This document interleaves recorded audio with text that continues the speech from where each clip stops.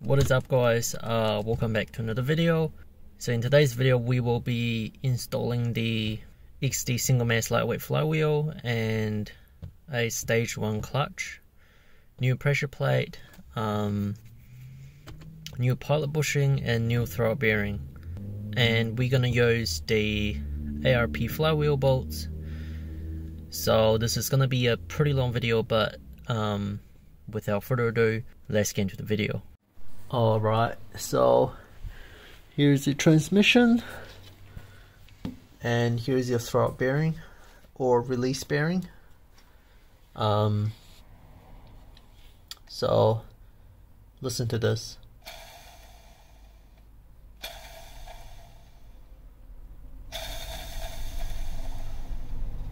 You can hear it's making noise when it's um, spinning, which indicates this bearing needs to be replaced. So there are two clips behind it and you just want to pop those out. Alright, this is what it looks like. So when you replace this, you need to press out the bearing out of this um, this backing thing and you want to press a new bearing on it. Now here I have the genuine Nissan uh, release bearing. So with the throwout bearing or release bearing, I kind of just want to go with OEM stuff because really they last the longest. So just as a comparison, this new bearing, you can feel this resistance, whereas the old bearing just spins really easy whereas this one hardly spins. Alright, so I'm installing the new throwout, I mean release bearing, um, the new pilot bearing, pilot bushing, whatever you want to call it. So literally you just put that thing up there and then you just use a mallet and then hammer it in there. All you want to make sure is um, you're not hammering it in a weird direction and then you can use a socket to go over that.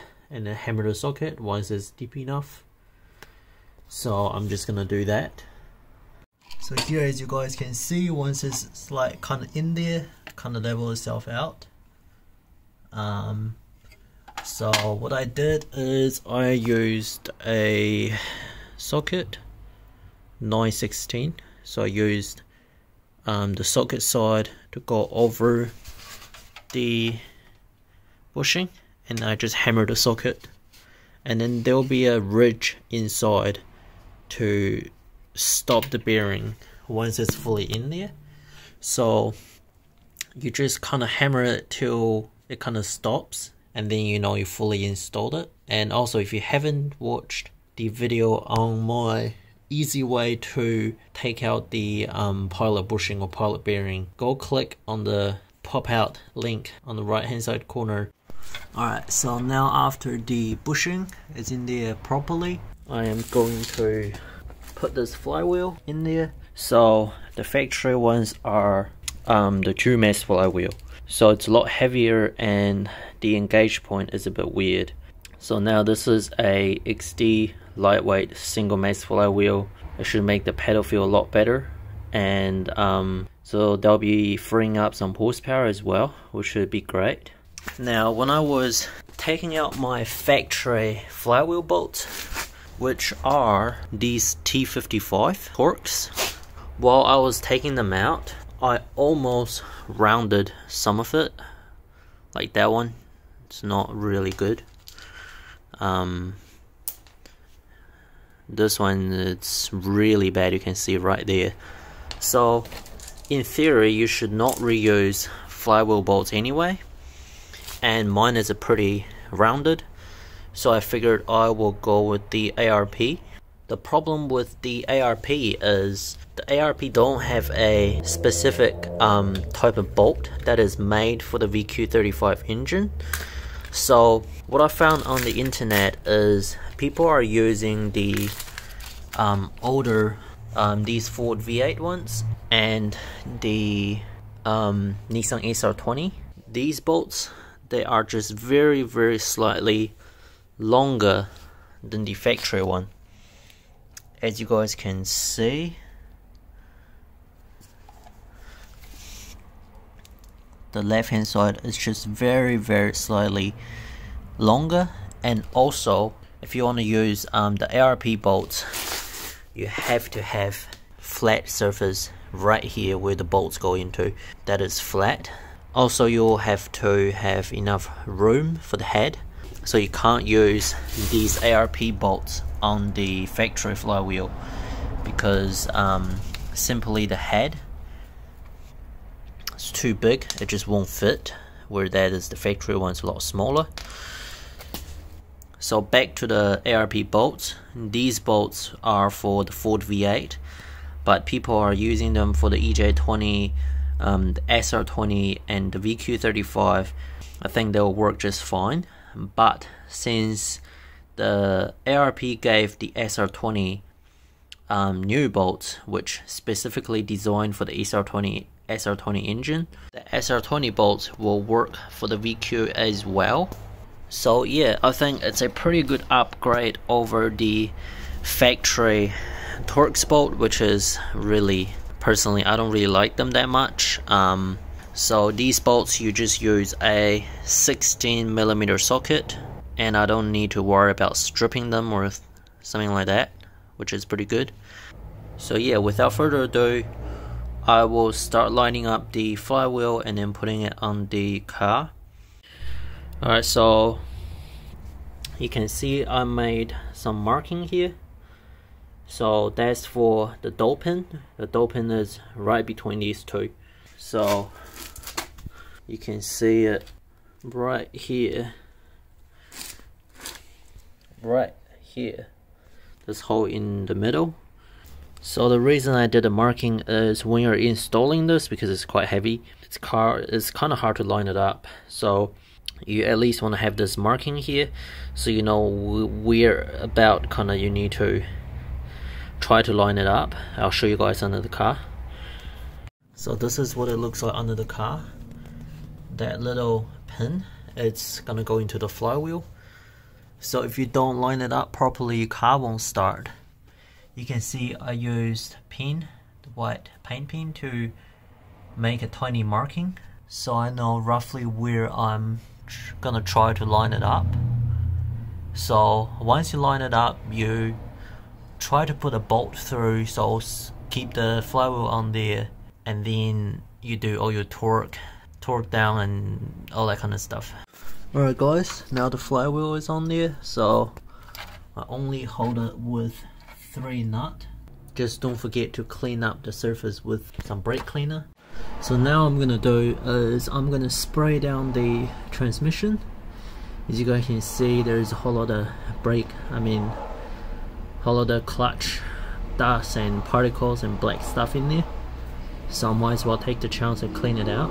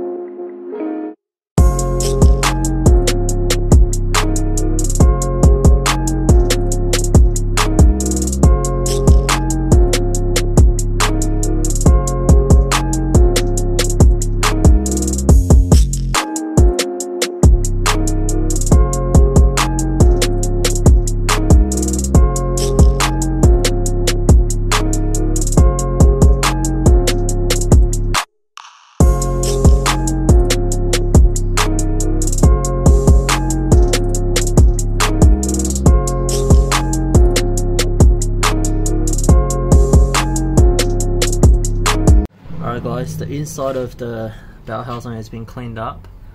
So I'm gonna put the um, bearing and the clutch fork back into um, the pivot, pivot ball. The bearing and the clutch fork is in there. We're just putting the um, the ARP lube under the bolt head and then we're gonna thread locker it and we're gonna torque it down to 90 newton meters. So I'm gonna hold um, the crank bolt from the front. So I'll get Ellen to um, torque it down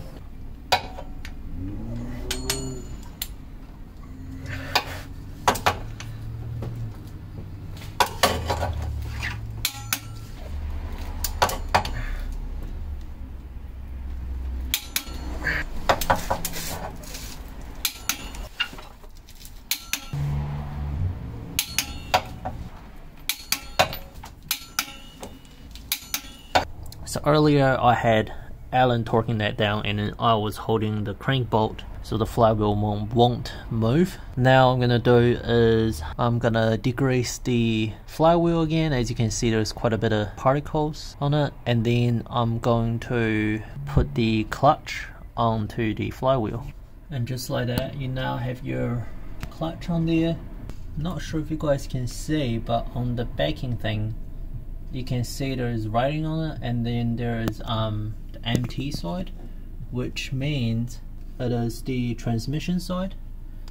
So you just want to make sure it is on the um, transmission side. And then you want to install your pressure plate which you want to make sure it's clean as well which is really important. Alright now the pressure plate is on. So all you want to do is you see these pins? There are three of those right on each um, side. So you want to line those up and um, and you want to hand tighten all the bolts. And then you want to tighten all the bolts twice with factory torque spec because um, on the factory service manual says you need to tighten it twice. I'll throw the um, tighten sequence because there's a tighten sequence as well. I'll throw that and the torque spec on the screen and then after that you can just pull out the clutch alignment tool. Alright so after you tighten down all the pressure plate bolts in sequence you can just pull out the um, clutch alignment tool. Like that. You want to lubricate the shaft that bit for the pilot bearing and um, the spine and the shaft that the throwout bearing slide on. So you want to lubricate all those places. And after that, the transmission, uh, and the pivot ball behind the clutch fork. And then after that, the transmission is ready to go back in.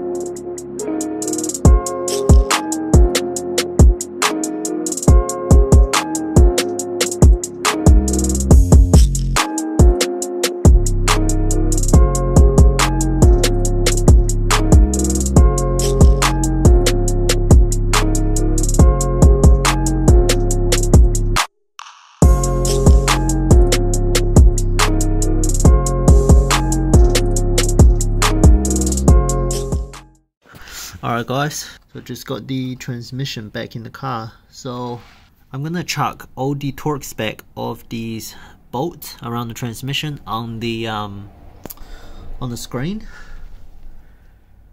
So it's really hard because this transmission is so damn heavy. So I got my um my Allen came around and give me a hand. So I put all the bolts on here so I don't lose track of which bolt goes where because those bolts are all different size.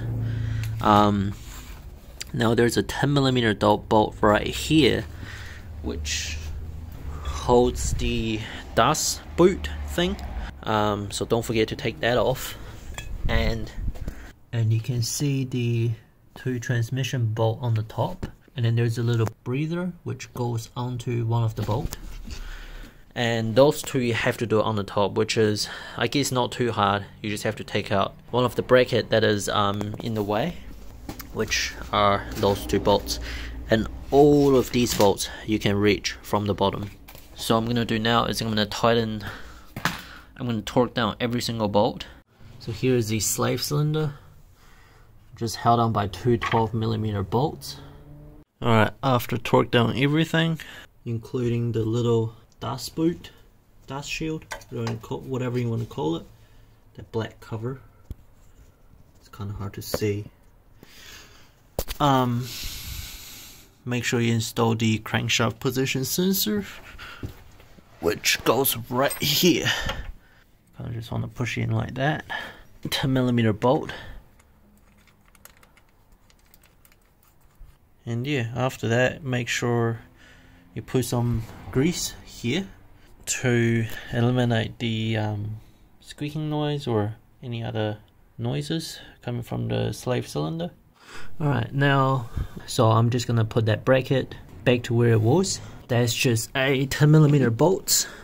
Alright guys, so now I'm gonna plug in these um, wiring harness so you can see the two bolts up there for the bracket and um, along here these are the plugs.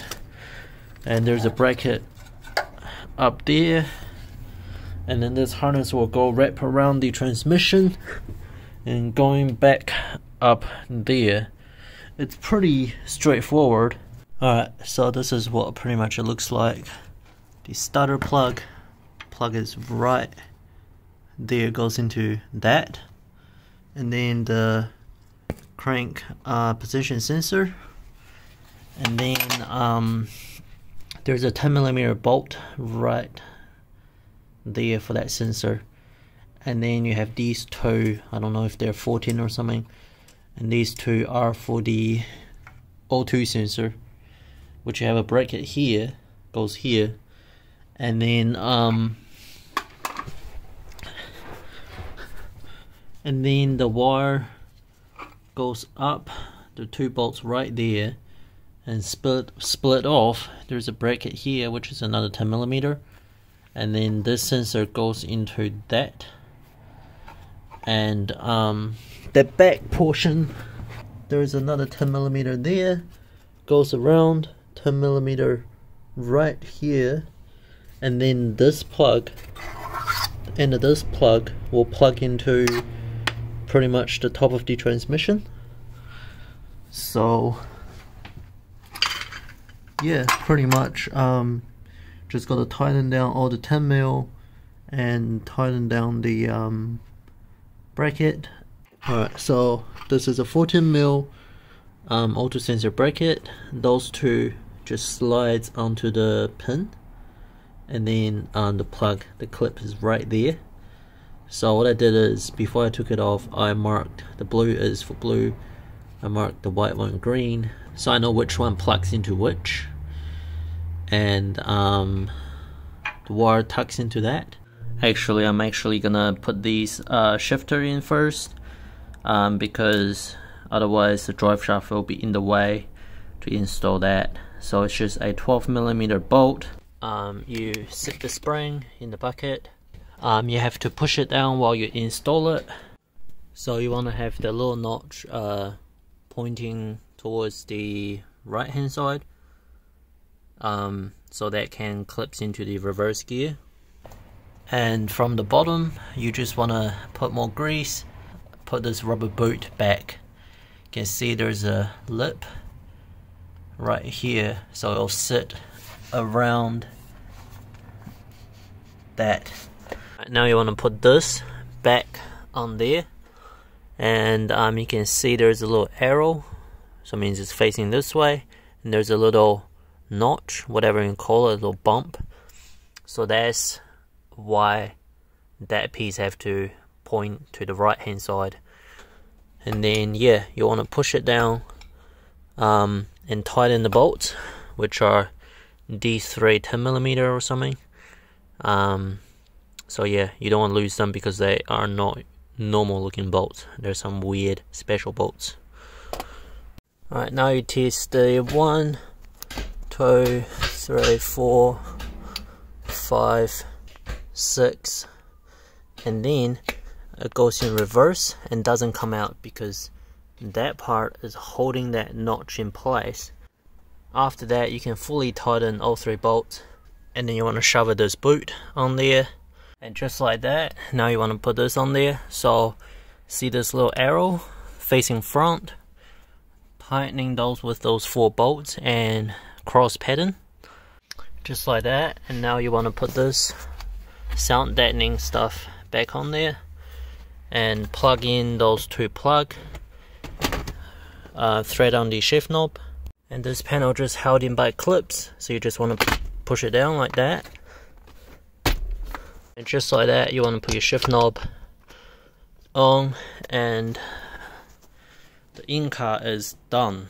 Next thing I'm gonna do is the drive shaft. Now the drive shaft is in the car. It's pretty easy.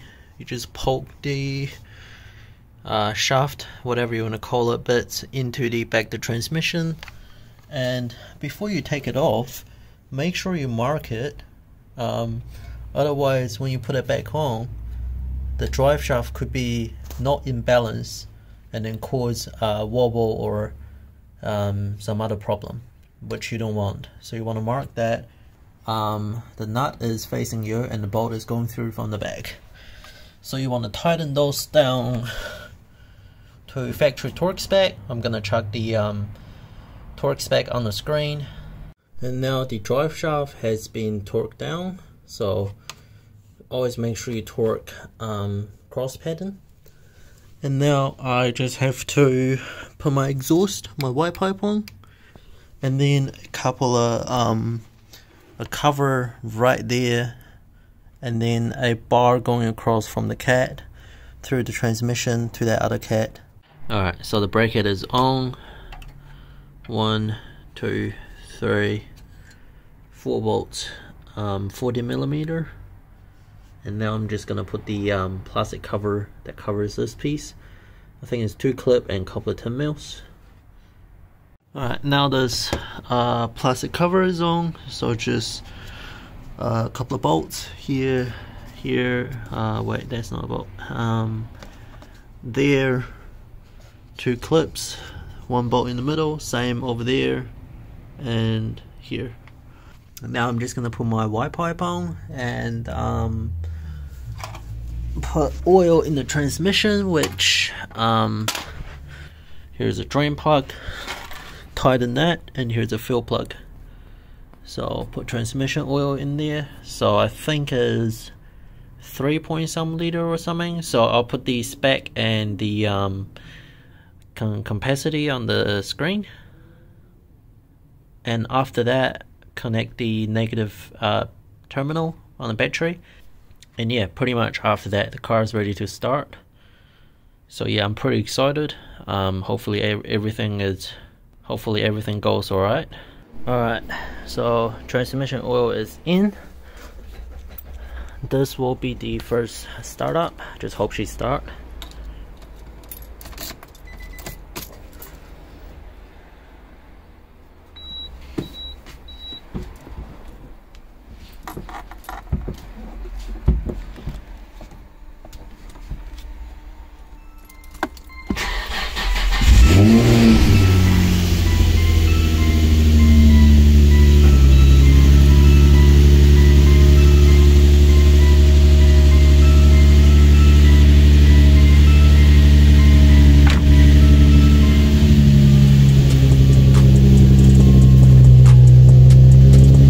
Stars up good, that's good.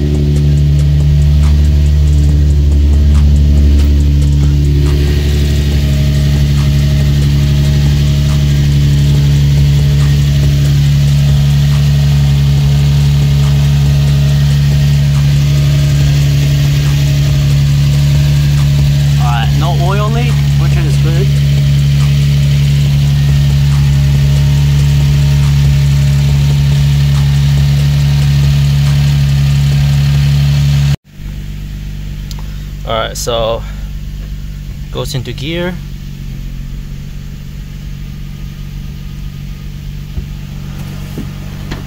Just fine. Can see first gear. So that's pretty good. Um, I'm gonna drop it on the ground. Look at that guys. She drives good goes into gear good probably have to adjust the pedal for uh, adjust the pedal and bleed the slave cylinder. But that'll be in the future video. Um, two skylines. I am so happy guys. So yeah that'll be it for this video. Uh, this is a really long video. I've been working on this car for probably a couple of weekends. Um, anyway that'll be it for this video. And in the next video I'll be driving this car for for for a while and break in the clutch and then probably do a review and stuff like that so yeah um, I'll see you guys in the next video and like this video if you found it helpful and plenty of G35 content on the channel. I've actually possibly got one more, another car coming, but yeah, stay tuned for that and um, yeah, I'll see you guys in the next video.